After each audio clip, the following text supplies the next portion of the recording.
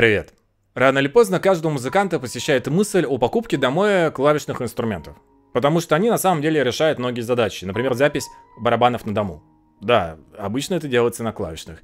Э, запись бас-гитары, струнных, всего, чего у вас нету. Плюс есть такие задачи, как, в принципе, для музыканта изучение понимания теории музыки сольфеджио. А это всегда нагляднее на клавишных. Занятие вокалом в том числе удобнее всего все-таки на клавишных. Да и сам по себе фортепиано как музыкальный инструмент звучит богато, тембрально, интересно, понятно всем. То есть, если мы возьмем, скажем, электрогитаристов, как касту, да, и отделим от всего коллектива звучание электрогитары, то копаться в этом жужжании — это чисто кайф гитариста.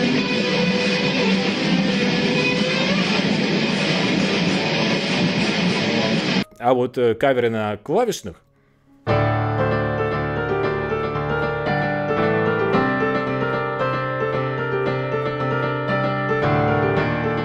Это понятно всем, и кайфуют в этот момент все.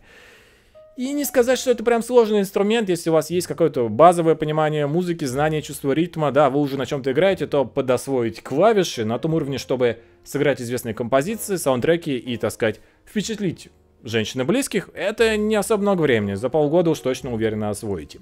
Следующая мысль, что тебя посещает, а что купить? Потому что вариантов-то много, и первый из них, это, конечно же, MIDI-квала. Казалось бы, клавишные, да, Э, но э, при покупке ее ты с точки зрения экономии, получается, ну, продуман. Так ведь и здесь нет ни динамиков, ни мозгов, каких-то своих звуков.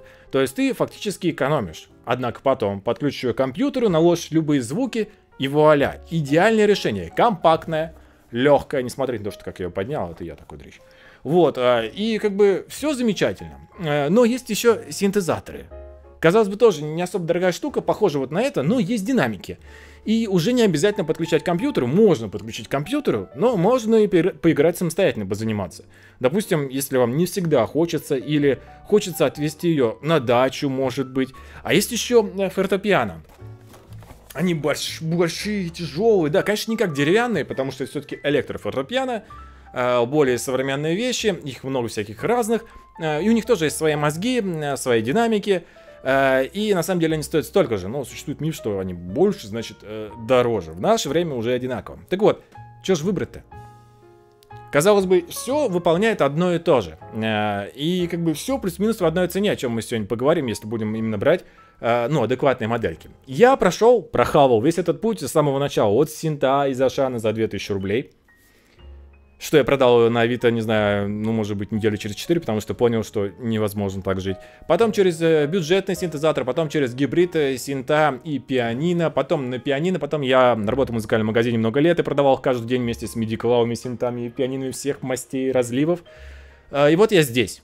Чтобы расставить все точки над «и», сегодня поговорим о том, что и кому конкретно нужно покупать.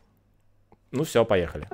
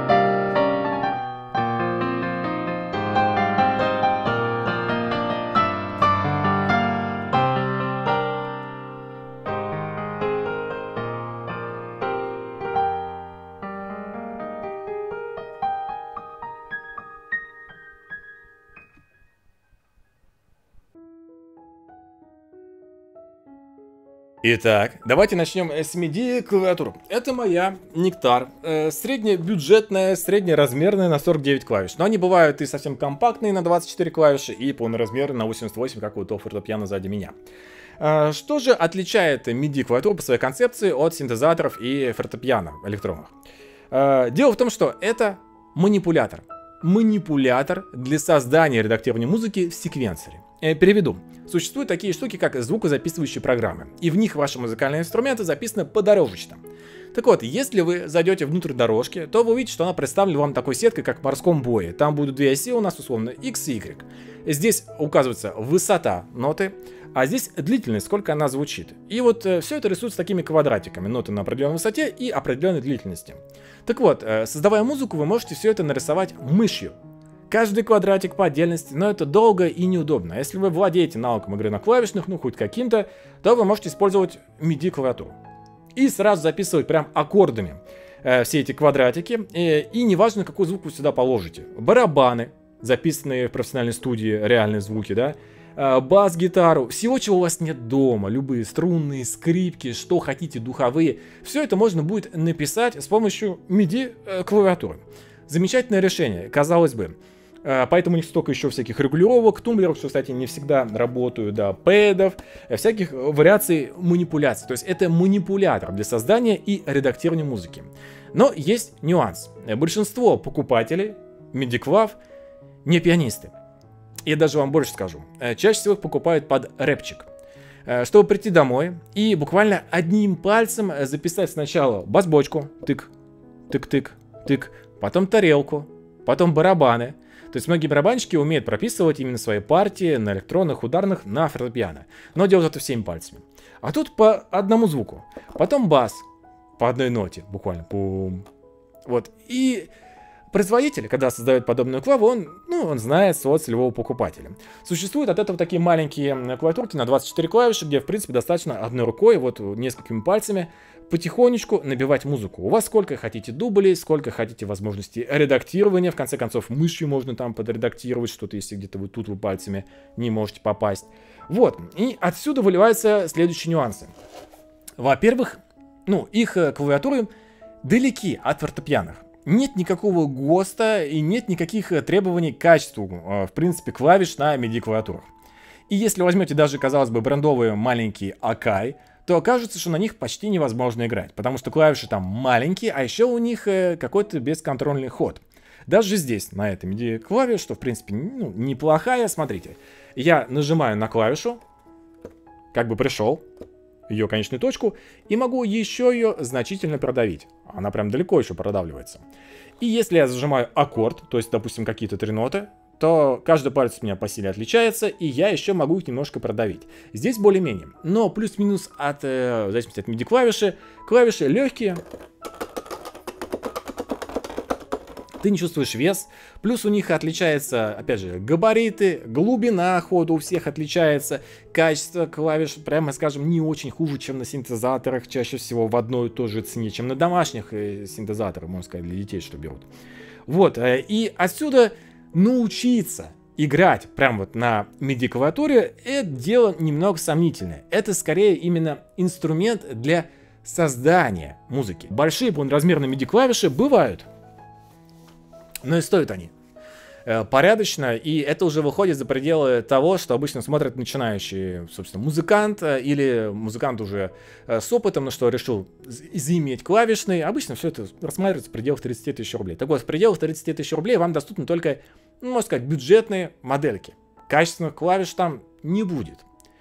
И если вы заметите по моей клавиатуре, а она такая немножко в пыльце, со временем, я вам скажу так, все, что не идеально, все, что неудобно, все, что не работает э, само по себе, отметается. То есть все дополнительные функции, второстепенные, вторичные, хотите, э, функции вы постепенно перестаете ими пользоваться, потому что неудобно. Эту клавиатуру я использую только для написания музыки в итоге. То есть, казалось бы, идея изначально идеальная, сэкономить на отсутствие динамиков, да, на отсутствие внутренних мозгов, подключить к компьютеру и учиться играть. Но за счет того, что обучение игре на клавишных это не только звук, да, вы можете повесить качественные звуки на сигнал с клавиатуры на компьютере, скачав их туда. Но дело в том, что обучение какому-то музыкальному инструменту это в первую очередь тактильная часть. То есть это именно обратная связь от того, что вы делаете своими руками. И на ней очень многое завязано. То есть не только качественный звук, что оттуда выходит. Важно именно освоить этот механизм, эту тактильную связь, которой здесь нету, к сожалению. Так еще и, в принципе, понимать обратно вот эту всю по динамику. Из того MIDI клавиши замечательная штука для написания для работы, да, с именно звукозаписывающей программой. Или же, если вы берете именно премиальную хорошую вещь, э, для выступлений в том числе иногда используют. Потому что именно рабочие станции или синтезатор для выступления стоят уже ну, 300 плюс тысяч рублей. Это еще несколько лет назад было. То есть, э, поэтому тут уже идут иные компромиссы. Но в первую очередь это манипулятор. Да, на нем можно условно учиться играть на клавишных, если взять побольше размером, но тогда вы уже не экономите на размерах. И опять же, если вы хотите получить более-менее какие-то клавиши, вы точно уходите за 30 тысяч рублей. Уж точно. Давайте я вам объясню, в чем вся суть MIDI клавиатуры. У меня сейчас перед глазами Evoris Pro MIDI 25. Это означает то, что это компактная клавиатура на 25 клавиш. При этом они здесь э, полноценные, полноразмерные, э, с чувствительностью к нажатию, даже с рисками, как под настоящее акустическое фортепиано. Я вам покажу э, на фотках, может, поближе, потому что на камере, скорее всего, здесь не будет видно. Но смысл в чем? Почему я говорю, что важна чувствительность к нажатию? Синты, особенно аналоговые, очень сильно от нее зависит. Смотрите, мы сейчас включим. И вот звук. Видите, как он меняется? То есть э, именно от силы нажатия и от контроля именно этого нажатия вы можете э, изменить само по себе звучание синта. Тем более их здесь море, они очень сильно отличаются между собой. То есть, по сути, есть такие а есть всякие арпеджиаторные, да. Э, при этом э, количество клавиш не столько важно, так как аналоговые сами по себе синты, они не понимают многосложные аккорды, как э, в случае с фортепиано. Здесь, если мы возьмем, скажем, даже вот три звука, да, вы услышали только, по сути, средний сам по себе, остальные не слышны. Да, можно добавлять. А... Но это немножко иная логика. Дальше, э, помимо клавиш, у нас здесь сразу есть пэды, чего, скажем, не будет на, на фортепиано, если вы подключите его как MIDI интерфейс. Э, они тоже могут работать как э, именно синтовые, но нас интересуют, допустим, барабаны. Набить барабаны мы хотим. Включаем. Звука нет, но есть кнопка Pro Bank, чтобы не лезть куда-то там что-то перезначать. Нашли. Переключили, пожалуйста, банки, нашли. А что, если нам не нужна вот эта динамика? Мы просто хотим стабильно звучать электронным барабаном, вот жирную бочку. Есть кнопка Full Level, нажали ее. Пожалуйста, удобно. Если хотим набить на клавишах, где она тут? Не видать. Появилась, потому что можем транспонировать эту клавиатуру ниже и выше с помощью кнопок октавы плюс-минус. Хотим переместить эм, именно аппликатурно все это, то, пожалуйста, есть транспозиция.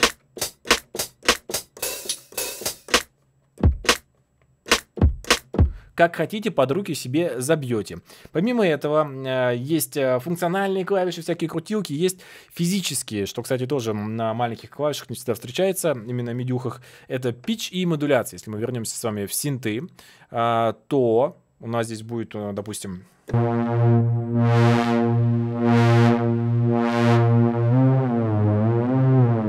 Это здесь работает, она, ну, по большей части, как э, громкость. А, при этом это не всегда, опять же, так случается. Допустим, если мы поищем...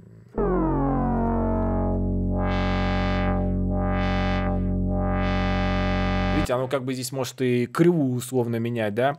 А, то есть это все собрано в одном комплекте, это удобно.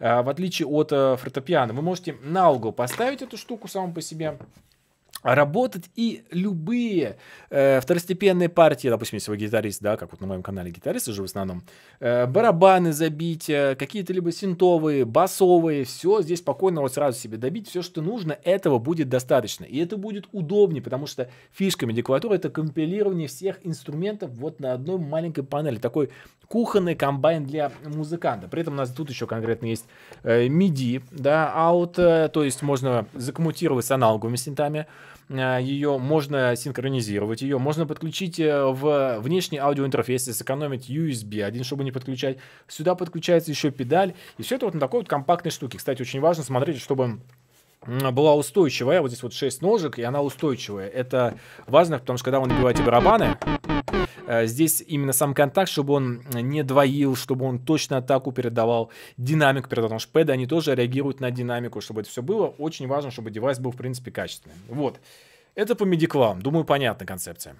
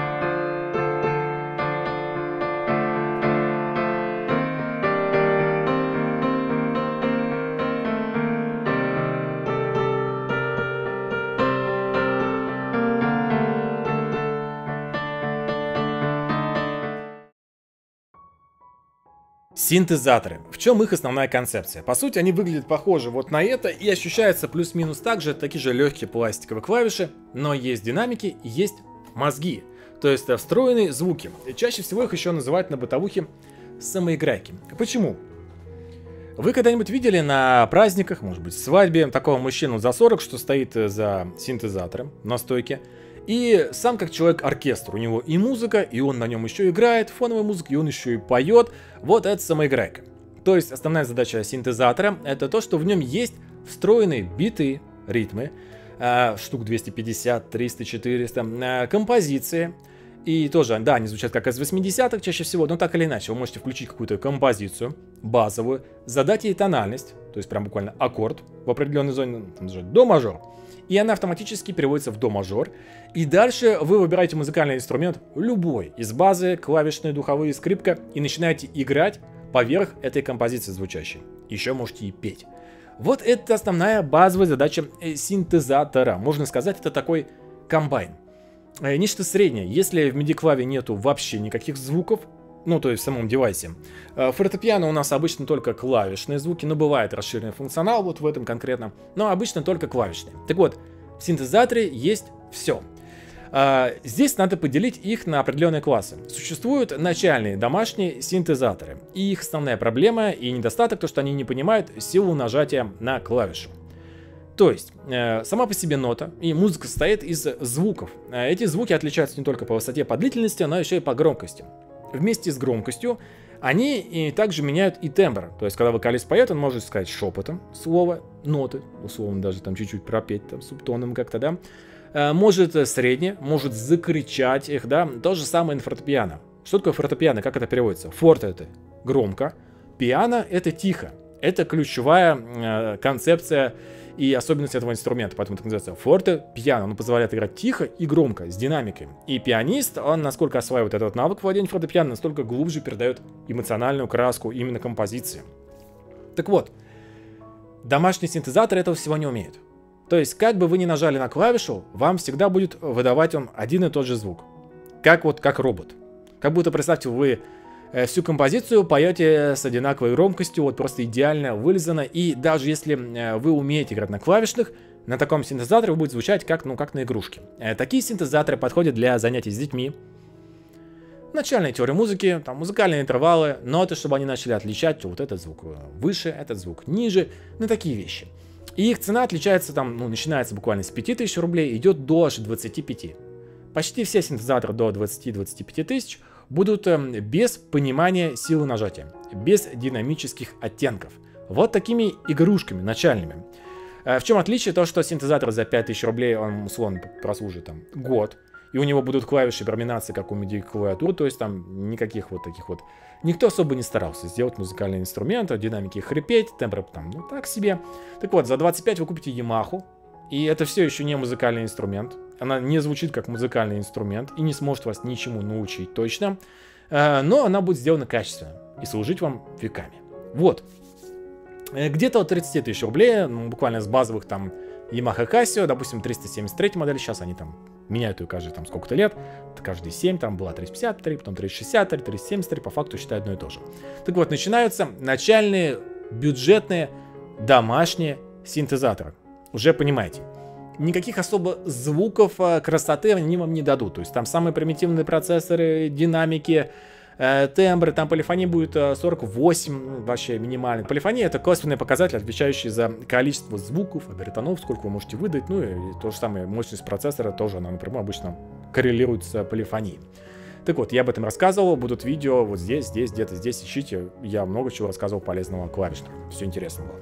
Так вот, э, что касается этих синтов, мы опять приходим к цене в 30 тысяч рублей. И здесь основная концепция, по-прежнему там будут композиции, ритмы, порядка 300 и того и того. Э, они будут звучать, ну, немножко устаревшие. Современных точно там вы не найдете. Но, так или иначе, вы также можете выбрать э, звук фортепиано и начать играть. Да, это будут легкие пластиковые клавиши, но, тем не менее, у него есть свои динамики, да, и у него есть свои тембры. Вы можете не только подключать компьютер, но и поставить спальный, и, скажем, ребенку вместо э, сказки сыграть колыбельную. Почему бы и нет, э, они это любят. У меня вот пес очень любит, когда я играю э, на моноинструменте. Вот дабстеп нет, это не его, а вот что-то на моноинструменте понятное, они еще пение любят, но не мое, конечно. Но вы должны понимать, что, в принципе, это комбайн. Это комбайн, где много звуков, много ритмов, много композиций. И так, чтобы он отдельно был заточен под обучение игре на клавишных, такого нет. Поэтому их нельзя покупать в музыкальные школы. Если ваш ребенок пойдет в музыкальную школу, вам скажут, нет, синтезаторы покупать нельзя. Потому что вы, даже если научитесь на нем что-то тыкать, это будет не то. Вы не поймете, не познаете фортепиано, вас придется переучивать, у вас руки будут не так поставлены, потому что э, тяжесть клавиш на фортепиано заставляет по определенным с ними работать. Во-первых, это большее количество динамики, отзывчивости. Во-вторых, это совсем иная механика, соответственно, другой инструмент, и по-другому стоят руки, по-другому они начинают работать э, и так далее. Вот. Поэтому синтезаторы не допускаются для обучения именно на фортепиано. Все-таки это отдельный музыкальный инструмент. Но Та же самая история. Существуют и более серьезные синтезаторы, то есть рабочие станции. Там уже звуки серьезные, и там уже все заточено под создание тембров. То есть если здесь это такая базовая самоиграйка, поиграть под э, композицию, то там под создание тембров. И они уже стоят порядка, ну там, сотни тысяч рублей. Это для профессионалов, для выступлений в том числе.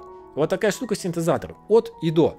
Совсем игрушки, нечто среднее домашнее, потом идет сегмент что-то там плюс-минус более-менее клево звучащее, но не, но не профессиональное, и в конце дорогие профессиональные штуки. Ну а теперь пробежимся по синтезаторам. Передо мной тоже Evoris F88. Спасибо вам, ребят, что прислали, потому что я изначально э, снял без примеров по синтезаторам и MIDI, потом подумал, что ну как нечестно, что только в качестве пианино вот э, примеры.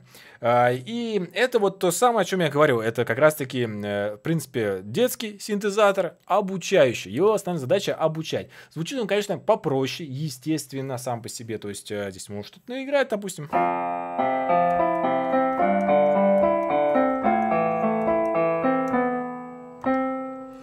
Но здесь у нас есть, э, во-первых, э, наклейки сразу идут на клавиши ноты изучать, микрофон для семейного досуга. Да, он мембраны, простецкий, но вот чтобы вот с детьми все-таки было весело. Педаль, полный комплект. Здесь у нас есть пюпитер сразу, это все понятно. Подключается по USB, питается от него. Он легкий сам по себе, несмотря на то, что он большой, полноценный, полный размер 88 клавиш.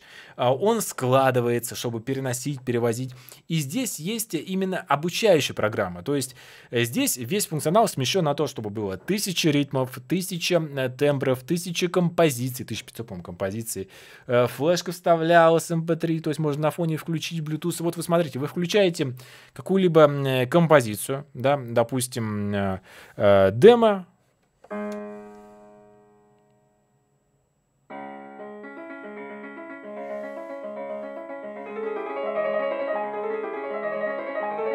Ну это жестко. Давайте что-нибудь попроще включим.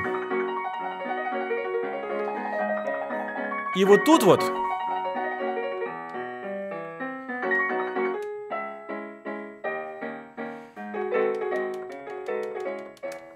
убавлю. И вот здесь вот вам не видно, но здесь клавиши горят. И я как бы должен за ними успевать.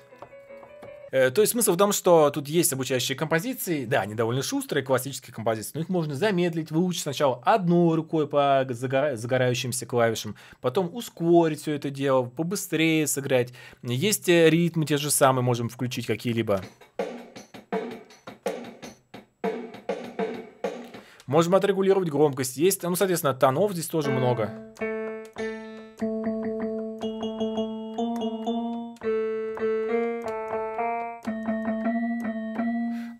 Собственно...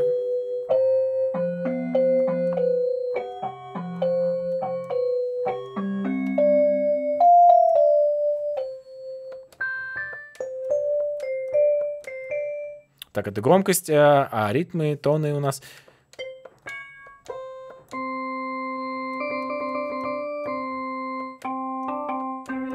вы поняли. В общем, эта штука, она граничит э, с удобством, функциональностью, развлекаловкой, но вот это вот конкретно ну, заточено под обучающий процесс. А, ну и, конечно, то, что классно, то, что ее можно просто взять, Здесь у нас также есть э, сзади подключить наушники, чего вы не подключите к MIDI-клавиатуре, естественно, ну, помимо микрофона.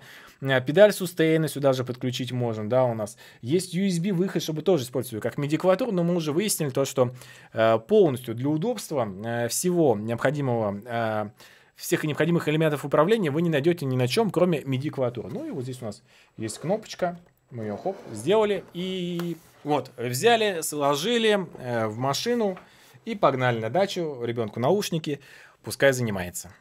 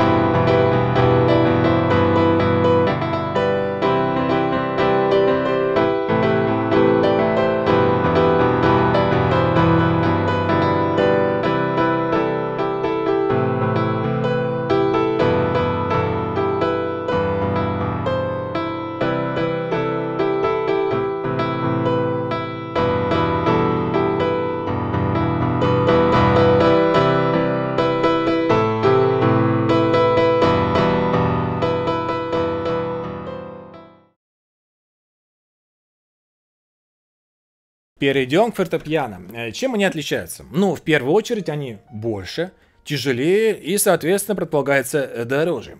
Насколько они тяжелее по факту? Если обычно синт весит, ну, там, 7-8 кило, то фортепиано электронное, цифровое, как хотите называйте, весит обычно 10-12. То есть тяжелее, но не прям запредельно. Э, по габаритам они всегда идут на 88 клавиш, а синтезатор чаще всего на 71, но бывает 73, это уже будет такой же, но чаще на 61. Однако у синтезатора еще есть э, по бокам динамики, э, крутилки всякие, вибраты, именно те же самые транспонирования.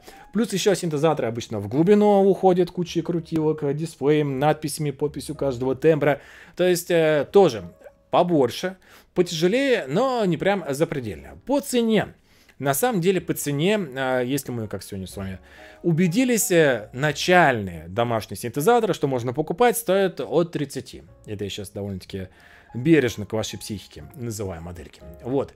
Э, что касается Mediclav, тоже все это около 30. Так вот, э, фортепиано начальный, если мы берем, того же сегмента, на ту же аудиторию, по те же цели условно, стоит от 20. То есть, несмотря на то, что они большие и тяжелые, они на самом деле-то, в общем-то, не дороже. Вот эта моделька стоит уже, да, 30 плюс. но это уже, можно сказать, флагман компактных фортепиано. Чтобы вы понимали, ну да, насколько они тяжелее, то есть и больше. Давайте я вам на коленки закину. Вот тут главное микрофон не задеть. Э, но что тут нужно усвоить по концепции? Э, чем отличается именно цифровой фортепиано? Да, оно также подключается по тому же самому MIDI, кабелю, как и MIDI-клавиатура к компьютеру. И вы также можете положить сюда любые звуки, какие захотите. И барабан в том числе. Э, и да, в них тоже бывает куча тембров, встроенных мелодий. Вот в этой, собственно, фортепиано, потому что это Grace BP300 уже, да, то есть, как я сказал, она уже такая средняя хай-эндовая. А тут у нас 238 тембров. Но обычно фортепиано их 8-12. То есть здесь есть барабаны, тембры, встроенные композиции, дисплей. Но по своей концепции, что такое фортепиано? Э, это когда вы не хотите переплачивать э, за количество звуков, каких-либо, да, манипуляторов, крутилок. Вы платите только за качественную клавиатуру и звук. И ваша задача научиться играть на фортепиано в соло. Научиться играть на клавишных, э, как это делают пианисты. В соло ты сел, и ты сам играешь просто вот полноценную композицию. Она узнается, она понимается. И вот для таких целей покупается именно фортепиано. И здесь важная особенность. Начальный фортепиано, даже самый начальный фортепиано уже подходит для занятий в музыкальной школе э, полноценно. Потому что даже самое бюджетное будет иметь полноценную 88-клавишную клавиатуру с молоточковой механикой. То есть здесь будут клавиши потяжелее, по ходу. Здесь полегче, со всеми оттенками. Они будут по ГОСТу, по ширине, по длине, по глубине хода. А, и отличие здесь в чем? Бюджетный фортепиано, то есть имеют тоже молоточковую полноценную по ГОСТу э, клавиатуру. И этого достаточно для занятий и для отработки, и для обучения игре клавишным инструментам, ну, то есть на клавишных инструментах на фортепиано именно. Вот. Но чем больше вы платите, тем мощнее у вас динамики, э, тем богаче у вас тембр, проработанность вашей обратной связи в плане динамических оттенков, какие-то лицензионные тембра уже появляются сами по себе, именно зарегистрированные вот, звучания, больше выходов концертных, больше функционала, вот на примере это все объясню. Но самое первое, самое первое, что нужно уяснить, покупая даже самое бюджетное фортепиано, в первую очередь вы покупаете именно э, процесс обучения на клавишных. Пока я не купил себе домой фортепиано, не продал синтезатор, я не играл на клавишных, потому что мне было неинтересно. Объясню. Во время обучения и освоения музыкального инструмента, в первую очередь, на самом деле, вам э, важен не звук, а, повторюсь, вы, да, вы как на медиклаву можете сюда положить любое звучание самых дорогих там роялей в мире и так далее. Нет, но самое важное в этот момент — это обратная связь. Обратная тактильная связь и взаимодействие со звуком. То есть например, гитариста, поскольку канал гитарный, существуют э, здоровенные ламповые усилители. Такие большие, с кабинетами, динамиками. И они, конечно же, звучат лучше, чем вот такие компактные цифровые. Но гитаристы, 99% из них, предпочитают дома играть в таких вот малышей. Цифровые компактные усилители, как и вот бывают цифровые компактные фортепиано. Почему? Конечно, они не звучат как полноценные ламповые здоровенные усилители кабинет. Но этого достаточно. Самое главное во время занятий игры на гитаре, собственно, это именно тактильная обратная связь. Если у меня в руках качественный музыкальный инструмент, гитара, с нормальной настроенной обратной связью. Он отзывчивый, он мне удобный, я могу на нем заниматься, э, прогрессировать, э, осваивать новые навыки, учить композиции без проблем. Э, мне лишь нужно, чтобы звук, исходящий отсюда, был приятным и подходящим для этих занятий. Так вот, э, электронные фортепиано, они не звучат как э, дорогущие акустические. Даже если мы откинем ценник. Не звучат. Но они звучат достаточно для того, чтобы играть в кайф и на них заниматься. Так, это нам всем больше не понадобится. Ну, вам не понадобится. Мне это понадобится. Э, что касательно бюджетных цифровых фортепиано. У меня выходило замечательное видео, сравнение, где мы взяли самые ходовые модельки от всех компаний. Там была Yamaha, Casio, Rockdale и вот был Grace. И сравнили их в мелочах, бок о бок, голос об голос, лоб лоб. То есть, э, где у кого лучше читаемость в нижнем регистре, у кого глубже ход сам по себе, качественная клавиатура, э, количество динамических оттенков, ходов, выходов, функционал, относительно цены, вот все, все, все. Это видео будет по ссылке в описании, в подсказке, возможно, прикреплю здесь, если у вас работает. Переходите, посмотрите, очень важное, интересное видео. Вот, э, тогда я сотрудничал с магазином, что я предоставил мне все это великолепие для чистого сравнения. Все прям все померили, линейка электронная. Вот, а потом это видео видели ребята из Grace и присылали, сказали, давай мы тебе пришлем тут нашу самую ходовую модельку BP300. Э, и там же люди заинтересовались и писали, а что такое за компания Grace. Поэтому давайте я сначала расскажу, что за компания, э, потом конкретно, чтобы вы понимали, как происходит градация именно фортепиано. Опять же, есть, есть начальные, средние, профессиональные, э, и по цене конкретно обозначу, вот, и стоит ли там за что переплачивать. А потом уже вот об этом еще скажу пару слов уже, на котором мы сегодня и играем во всех ставочках. Полина, еще раз большое тебе спасибо за то, что пришла и сыграла все эти модные композиции. Ну, как модные. В моем сердечке модные. Вот. Ну и в твоем, получается, тоже. Что касается компании Grace, она изначально вышла на рынок США западный, заняла там лидирующую позицию, а к нам действительно пришла недавно как ребренд. То есть Grace это ребренд для Российской Федерации. И здесь они э, пришли три года назад и решили занять именно бюджетный сегмент, потому что он остался пустой. Э, Все, что было в бюджетном сегменте, ценник сделал X2, потому что технологии не менялись уже лет как 10. Тембря и все остальное никуда не двигаются. Вот, э, и да, несмотря на то, что они ориентированы на бюджетный сегмент, у них, если что, есть и акустические фортепиано с пиано-диско премиального сегмента, если вам нужно. Но в основном базовый, базовый сегмент здесь находится. И на данный момент, э, согласно статистике Low Piano, это самые покупаемые, в принципе, фортепиано у нас в России. Да и, собственно, согласно, если вы придете там на Яндекс.Маркет, Э, почитайте там отзывы, э, посмотрите, да, дату этих отзывов. Они, кстати, все на 5 звезд, э, все довольны. То будет видно, что действительно там сотни, на некоторых моделях там 200, 250 отзывов уже есть. Вот. Что касается по сегментарному идет наполнение. Самая начальная модель это BP50, э, и в 50 у нас чуть динамики послабее идет, полифония идет 81, тембров не так много, но это все равно уже полноценный фортепиано, что подходит для того, чтобы начать играть на клавишных. Чуть-чуть доплатив, можно получить 90, что у нас была на видео, и в ней уже 238 тембров, там уже не только клавишные, но и всякие синтовые есть, и для детей уже есть, есть два выхода под наушники уже, и динамики помощнее. Вот, если доплатить еще, то получается вот это вот BP300. Функционально она похожа. То есть у нас здесь тоже есть запись, можно записать себя, послушать заново, есть какие-то из вас там ошибки или нет. Тоже можно поделить клавиатуру на два участка, заниматься преподавателем, оба в наушниках, чтобы никому не мешать. Есть концертный вход и выход. То есть можете сюда загнать музыку и послушать через динамики, играть на фоне. Можете послать звук на микшер, чтобы у вас при этом остался мониторинг через динамики. Когда втыкаете наушники, звук пропадает. Здесь есть у нас, опять же, э, помимо тембров еще Э, ритмы, в том числе их тоже огромное количество. Есть наложение звуков два сразу, эффекты различные, э, барабаны, все, то есть по максимуму такое напичкано уже компактное фортепиано. И здесь тоже динамики 50 ватт, но полифония уже 256 педалей реального типа. То есть если вы купите любой фортепиано в этом сегменте, то там будет квакушечка, чтобы вы понимали. Это вот такая штука, Здесь же у нас идет уже нормальная педаль а, реального типа. Она у меня, я вам ее покажу. На фотке такая красивая, блестящая, но на самом деле она еще и адекватная в пользовании ногой. Все-таки это скорее как от швейной машинки.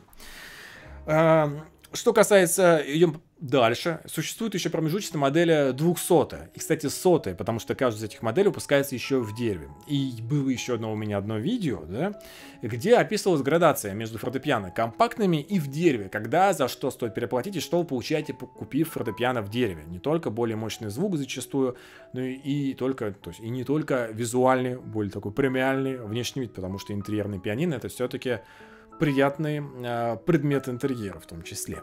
Так вот, э, все понятно. 50-е начальная, 90-е тоже уже побогаче, начальная. Сотая, опять же начальная, но она выпускается еще в дереве. Э, 200-я моделька, это если вы уже хотите чего-то большего, да, хотите повысить свой скилл, когда-то закончили, допустим, но уже не начинающий, и хочется удовольствия и развития.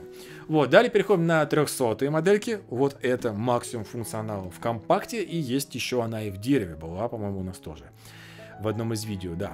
А, ну и флагман 400. там уже лучшие тембра, там уже и он визуально смотрится совсем по-другому. Еще более мощные динамики. Э, если здесь 16-ядерный процессор, уже звучание реалистичное. То есть чем выше мы идем, тем еще больше у нас оттенков, нюансов. Не только именно с помощью более мощных динамиков, что опять же продает обертона, но именно с точки зрения отработанности э, обратной связи, отклика от клавиш. То есть все максимально понятно. 50, 100, 50, 90, 100 идем. Это для начального сегмента. 200 это уже чуть больше звука, да, уже именно обратная связь приятная, уже для тех, кто когда-то закончил или же просто с самого начала хочет купить инструмент посерьезнее. 300 это уже функционал, максимальная полифония, то есть именно 16-ядерный процессор. Вот. И 400 самые идут флагманы, э, говоря о самых ходовых моделях. Но и там дальше идет. Вот. Э, тут для каждого все свое. Но первое и основное, что вы должны для себя именно уяснить, то, что подходя к основной нашей теме этого видео, все эти девайсы все умеют. То есть вы, опять же, вы можете и купить MIDI-клавиатуру, но опять же, если хотите полноценное, нормальное качество, то придется брать 88 клавиш. Они не дешевые, они дешевые не бывают.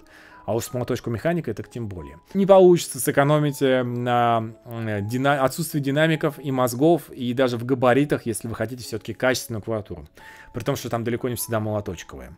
Вот, э, все-таки это манипулятор для создания музыки. Да, на них можно поиграть, с учетом многих но, но в первую очередь это манипулятор для создания музыки. Э, говоря о синтезаторах, это в первую очередь самоиграйка, в ней много тембров, много звуков, и да, это интересно в том числе поизучать, повключать, но если ваша основная задача именно научиться играть в соло и освоить механику клавишных инструментов, то я считаю, это только цифровой фортепиано.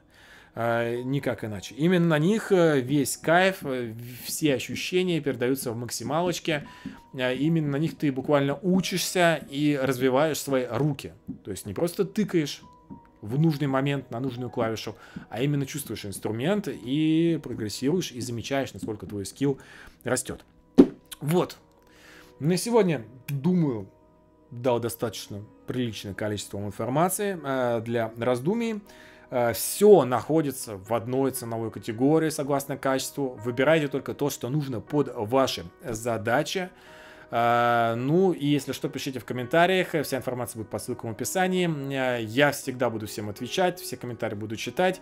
Также можете увидеть это видео на других площадках, тоже смотрите, вся информация есть в описании.